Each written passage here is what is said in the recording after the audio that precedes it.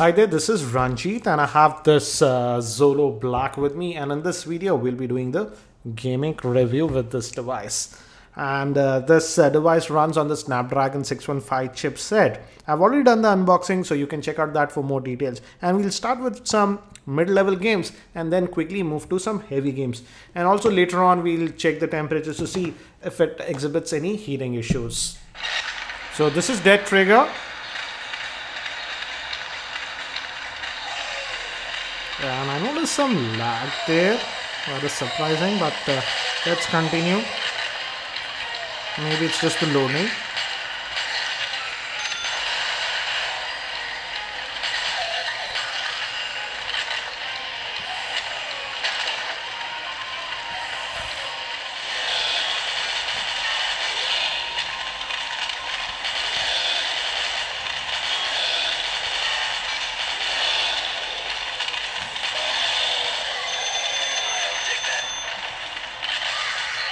and it just has a single uh, firing speaker. So let's just uh, continue. And I would say it's running this game uh, uh pretty well. Again uh, Dead Trigger is not a very heavy game. So let's do one thing. Let's just get out of this one and let's see how it handles some other games. So let me just go back. And we have a multitasking tray. You can just swipe away apps like this and uh, now let's move to uh, let's play asphalt 8 and see how it handles. So this is asphalt 8 and let me actually show you the uh, settings.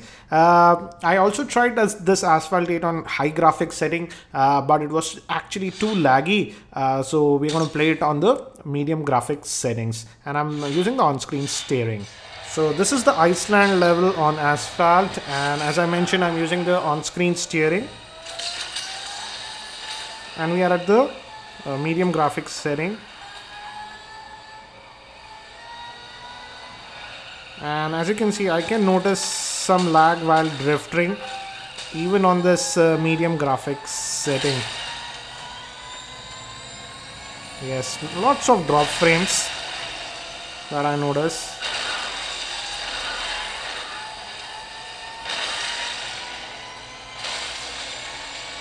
It was actually almost unplayable on the high graphics settings. Uh, but yeah, it's still not that smooth, I would say, even on this medium graphics setting.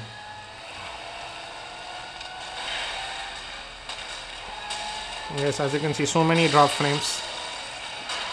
And there's a lot of action.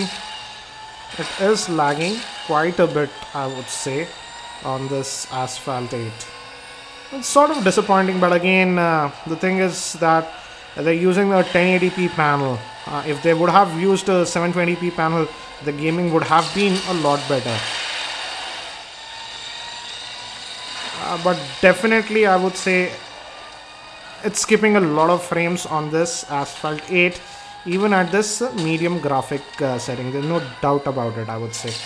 Um, and uh, it's just about six odd minutes since we were gaming. Uh, it's not getting that hot. I thought it would get a lot hotter, but as you can see, it's around 39 degrees Celsius here on the screen. And here at the back, again about uh, 39, 40 yes, it's touching max. But let's just get out of this one. And now uh, let's move to some other heavy games like uh, Nova 3 and later on we'll also test Modern Combat and see how it handles it. So continuing with Nova 3 and as you can see it's actually way too laggy. Simple fact that the GPU is not able to handle this 1080p screen. It's lagging like crazy with top frames as you can see the animations are not that smooth In fact, I would say the Lenovo K3 Note did a lot better than this uh, device, at least in uh, gaming. Yeah, that also lagged a bit, but it was not lagging this much. This one is lagging quite a bit, I would say, even on this uh, Nova 3.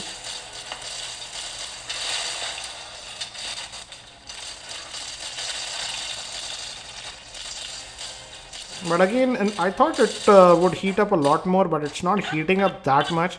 And as you can see the voice is also cracking. So looks like it's just struggling to keep up.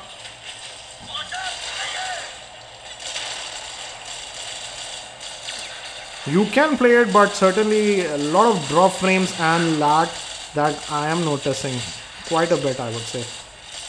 So not a very good experience in my opinion for gaming playable but not that great. Also in terms of volume uh, I noticed that even on asphalt it's not that loud in some of the games. For example even on this Nova it was not that loud. So it's uh, around uh, I would say 12 odd minutes since we were gaming. So let's again look at the temperature before we move to modern combat. And here it is now touching around the 42 degrees Celsius mark as you can see here on the screen again around that 42 degrees Celsius again the frame rates are not smooth at all very choppy frame rates uh, so uh, it is playable, but uh, I would say the experience is not that great in my opinion. let's just continue and see how if it improves. No, again I can see some lag.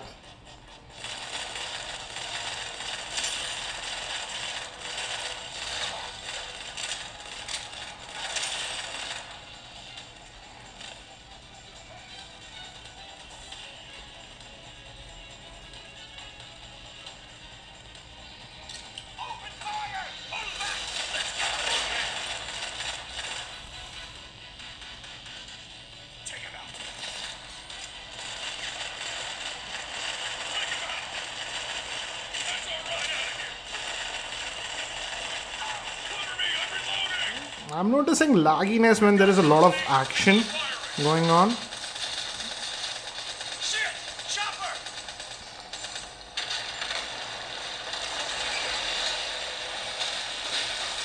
But it, it's not heating up that much. Uh, in fact, uh, I'm not getting that burning sensation that we generally get with Snapdragon 615 chipsets. So looks like they're aggressively throttling it to avoid uh, heating issues.